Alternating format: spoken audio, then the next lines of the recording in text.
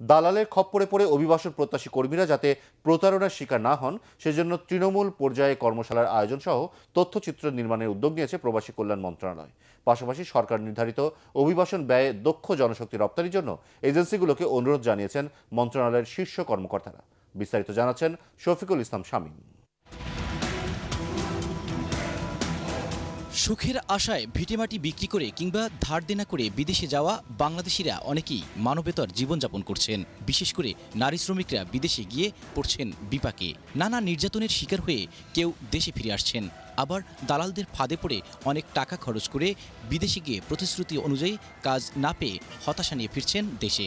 না বুঝে, না জেনে বিদেশ যাবার কারণেই এমন সমস্যায় পড়ছেন হাজার হাজার প্রবাসী। এক্ষেত্রে সচেতনতার অভাবকেই দায়ী করলেন বিশ্লেষকরা। আমাদের জেলা পর্যায়ে বিভিন্ন কর্মসূচি গ্রহণ করা উচিত।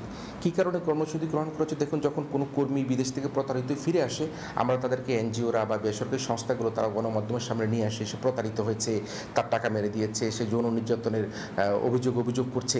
কিন্তু আমরা যাবার পূর্বে কেন সেগুলি প্রোটেকশন করি না?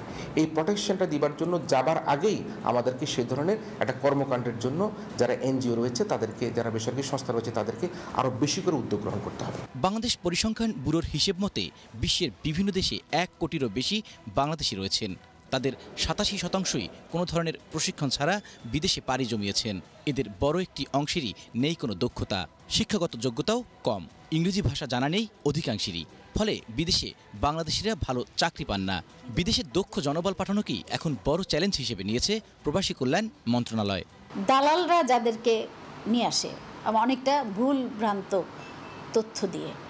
যার কারণে এরা এত কম জানে যে শুধু হাত তুলতে পারে যে আমি মালয়েশিয়া যাব, আমি সৌদি আরব যাব, এর বেশি কিছু বলতে পারে না। যে আমরা ভবিষ্যতে এই প্রি ডিপার্চার ব্রিফিংটা হয়তো অন্য নাম দিয়ে, অনেক আগে যখন একটা প্রাইমারি সিলেকশন হচ্ছে একজন কর্মী, তখনই হয়তো আমরা চিন্তা করব যে এদেরকে আমরা ব্রিফিং দেব। বিভিন্ন দেশে শ্রমিক পাঠানোর খরচ বাড়াচ্ছে দালালরা। তাই বৈধ রিক্রুটিং এজেন্সির মাধ্যমে বিদেশ যাওয়ার পরামর্শ প্রবাসী কল্যাণ মন্ত্রণালয়ের। শফিকুল ইসলাম শামীম এটিএন বাংলা ঢাকা।